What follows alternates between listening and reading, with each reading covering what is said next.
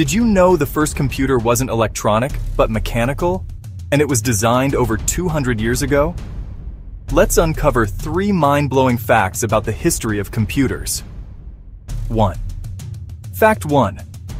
In the early 1820s, Charles Babbage designed what many people call the very first mechanical computer, the difference engine.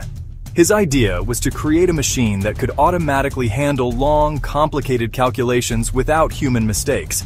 Even though the technology of his time couldn't fully bring it to life, Babbage's vision laid the groundwork for nearly every computer we use today. That's why he's often called the father of computers. 2. Fact 2. Ada Lovelace, a gifted mathematician, worked closely with Babbage on his next design, the analytical engine. While others saw it as just a calculator, she imagined much more. In her notes, she described how the machine could be programmed with instructions to process not only numbers, but even patterns, symbols, and possibly music. This groundbreaking insight is why she's remembered as the world's first computer programmer decades before an actual computer was built. 3. Fact 3.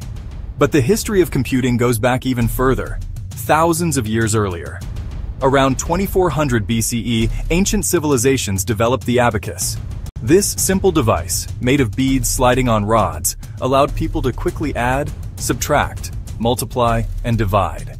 It became a vital tool for merchants, traders, and scholars across Asia and the Middle East. Believe it or not, the abacus is still used in some parts of the world today proving that the idea of computing has always been part of human progress. Like this video and hit subscribe for more crazy facts.